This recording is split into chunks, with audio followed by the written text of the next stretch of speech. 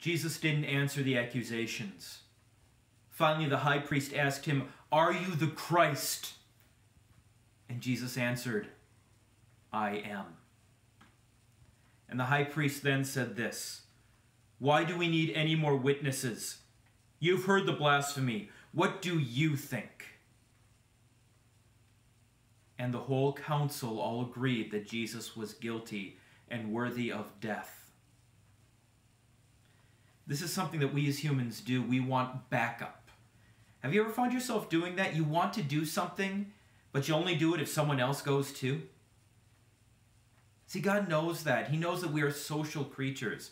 That's why He wants us to worship with other Christians so that we can support and encourage each other because he knows that as sinful human beings, otherwise we'll encourage each other to sin.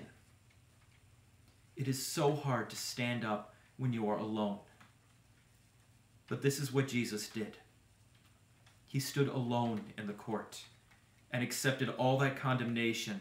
And because of that, you will never stand alone. You have an advocate who stands with you.